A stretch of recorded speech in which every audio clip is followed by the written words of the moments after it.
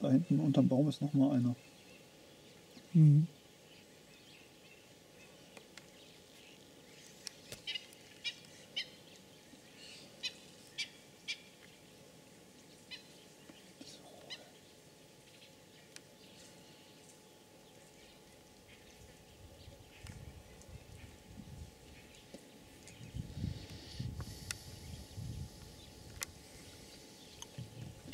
Und hier Elefantenscheiße.